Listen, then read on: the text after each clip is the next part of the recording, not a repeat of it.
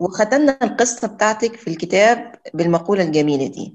Allow your belief to reach your inner strength where it will shine through you.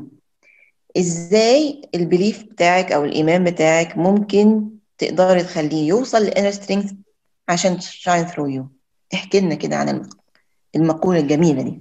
هذه أنا حربطها في بداية كلامنا الجميل مع بعض اليوم. لما سألتيني عن الشغف وقلت لك هو إيمان.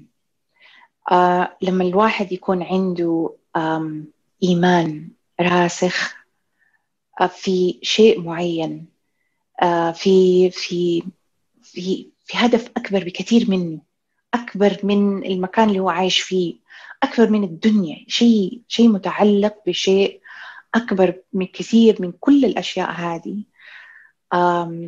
بتكون عنده شعلة دائمة جو جواته.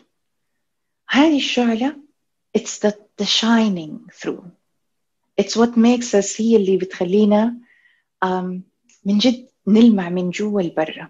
بتخلينا وبتضوي طريقنا. الإيمان بأنه um, فكرة إعمار الأرض.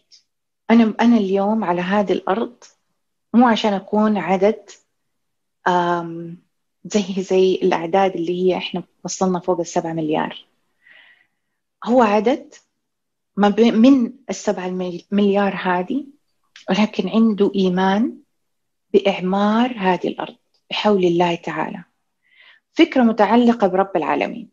أنا أبغى أعمر الأرض. أبغى أكون واحدة من خلفاء الله في الأرض إني أعمرها بحول الله تعالى عشان نحط فيها خير وننشر فيها خير. وسط كل شيء إحنا فيه وإحنا قاعدين نسويه أو قاعد يصير حولنا في خير. والخير ما نقول إنه آه والله آه فكر في الخير لا إحنا نكون الخير إحنا نبدأ نكون الخير.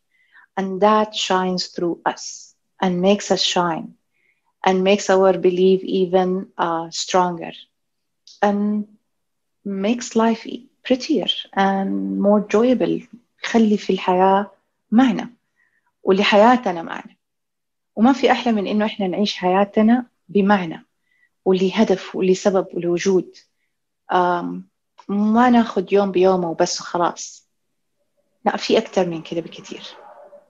بس يا ستي. رائع جميل. يعني فلنكن الفسيلة. اللي, اللي نفضل دايما مثمرة طول ما إحنا ماشيين في الطريق. ولو أثرنا على شخص واحد أو شخصين أو عشرة أشخاص فإذا الأمر يستحق.